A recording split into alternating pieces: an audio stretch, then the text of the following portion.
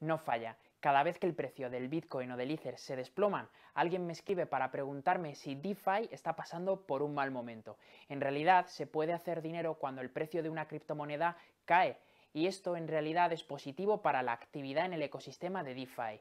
¿Quieres saber por qué? Comenzamos.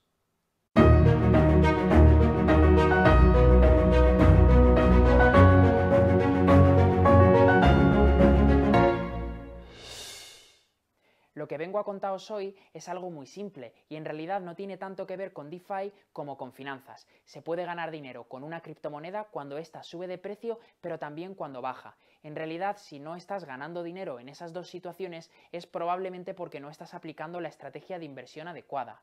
Cuando una criptomoneda sube de precio, podemos hacer dinero aplicando estrategias long o a largo, y consisten en comprar un activo determinado, esperar a que suba de precio y después venderlo podemos incrementar el beneficio apalancándonos, es decir, tomando prestado un Bitcoin si ya teníamos uno y de esta forma, si el precio sube un 10%, obtendremos un 10% de beneficio sobre el Bitcoin que yo ya tenía, pero también sobre el que he pedido prestado.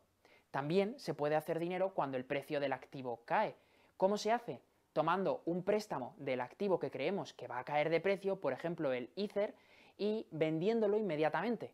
De esta forma mantendré mi dinero en fiat o en una criptomoneda estable. Cuando el precio haya caído lo suficiente, volveré a comprar la cantidad que obtuve como préstamo para devolver ese préstamo y la diferencia entre un punto y el otro es lo que he obtenido como beneficio en esta operación.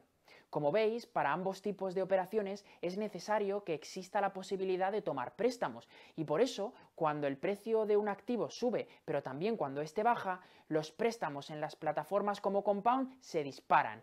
Y es entonces cuando se pueden ofrecer tipos de interés de entre un 7, un 8, un 9 o más de un 10% porque existe una alta demanda de inversores que necesitan esos servicios de préstamos para ejecutar sus estrategias de inversión.